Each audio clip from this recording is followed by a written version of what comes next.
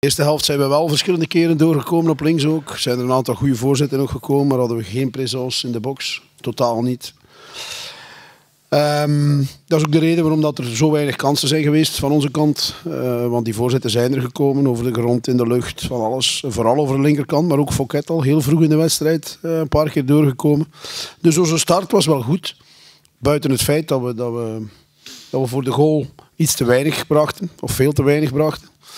Alleen dan ga je bij de eerste serieuze tegenstoot uh, onmiddellijk een doelpunt pakken. En dat is weer typisch voor ons. Uh, jammer genoeg een bevestiging van wat na nieuwjaar meer dan een keer is gebeurd. Ook nu weer situatie 2 tegen 2. Ja, ofwel pakken zij beter positie, oftewel verdedigen wij niet goed uh, op die fases. Maar dat doelpunt is te makkelijk. bal die over de grond komt en die zomaar kan binnenlopen, dat zou niet mogen op een, op een voorzet. Of je moet in ondertal zijn, en dat was niet het geval. Ja, dat komen gelukkig weg onmiddellijk daarna. Want op een corner die heel slecht getrapt wordt, uh, gaan zij onmiddellijk in de omschakeling. Is er bij ons niemand die reageert. En uh, ja, spelen ze het eigenlijk niet goed uit. Want daar hadden ze 3 tegen 2 misschien wat meer kunnen meedoen. Dus daar komen we goed weg. En dat ging de taak natuurlijk nog moeilijker gemaakt hebben. Maar ik denk dat we na de rust uh, heel goed gereageerd hebben. Um, dat we dan ook na de vervanging met Koulibaly meer presence hadden in de box. Veel meer dreiging hadden ook. En uh, Steppen pakt een paar ongelooflijke reddingen, moet ik zeggen. Uh, een bal van zijn eigen verdediger. Ja, dat zijn ballen die je niet verwacht. Hoe hij die eruit rammelt, prachtig. en hij doet dat een paar keer. Ook heel subtiel, de bal die aan Boussoufa alleen voor hem komt. Dus ja, uh, dan zit het tegen. Hè, en uh, dan moet je opletten. Was er nog één grote kans voor hen. Want wij, waar wij ook weer niet goed uit zagen, vond ik. Waar we twee tegen één staan te verdedigen en dan uitstappen. En, uh, maar uiteindelijk denk ik kansen genoeg in de tweede helft.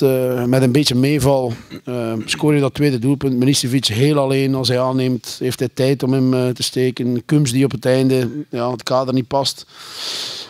Dus ja, we zijn, we zijn ontgoocheld over het resultaat. Maar ik denk dat we vandaag onze beste match tegen Zulte hebben gespeeld van het seizoen. We hebben één keer gewonnen in de beker. En dat was onze slechtste match, denk ik, tegen Zulte van het seizoen. En dan win je.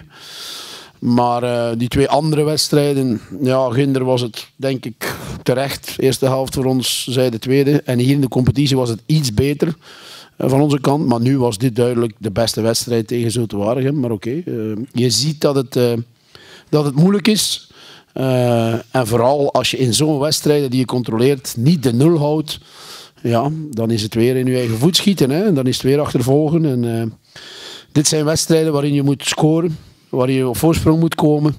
En dan, uh, ja, dan gaat er meer ruimte komen en dan kan de tegenstander niet gaan inzakken. Dat is een goed recht, dat hebben ze ook heel goed gedaan alle momenten gebruikt om het ritme uit het spel uh, te halen. Dat hebben ze ook heel goed gedaan. Dat is ook hun verdienste. Alleen is daar iemand op het veld voor om dat een klein beetje onder controle te houden. En ik vond dat dat vandaag wel een beetje achterwege bleef. En dat is dan misschien mijn mijn enige frustratie van de dag.